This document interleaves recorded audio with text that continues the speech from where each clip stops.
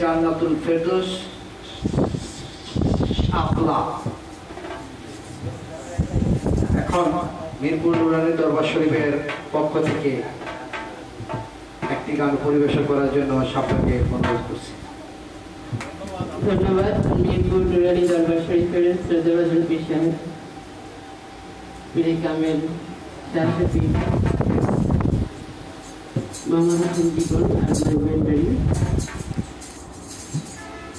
আমার সামনে যারা বসে আছেন